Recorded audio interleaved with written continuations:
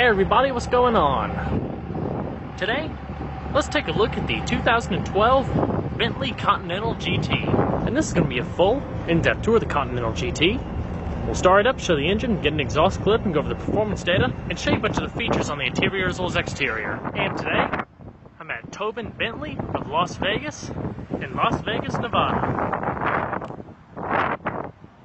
And so, without further ado,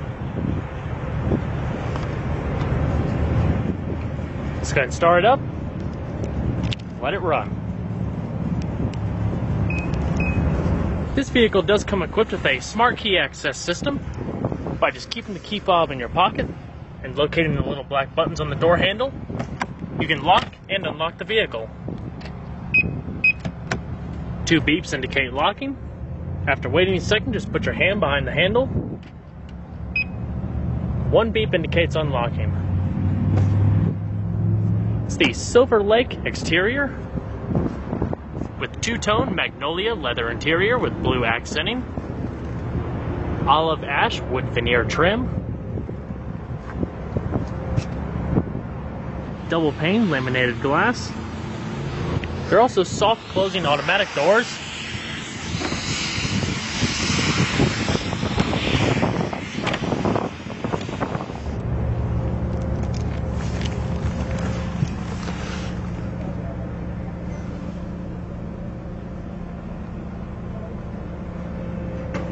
Now, you can start the vehicle up two ways. One, by the traditional key method, just inserting, flipping it to the right, and it'll automatically start. Or by the push button system. Just keep the key fob on you, put your foot on the brake, and hit the button here to start.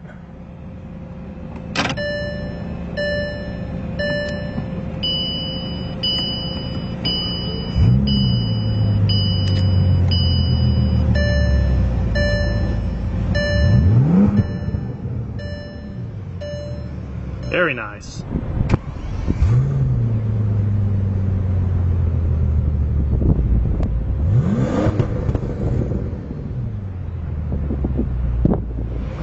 Optional two-tone leather wrap steering wheel with the cream and dark blue color contrast stitching.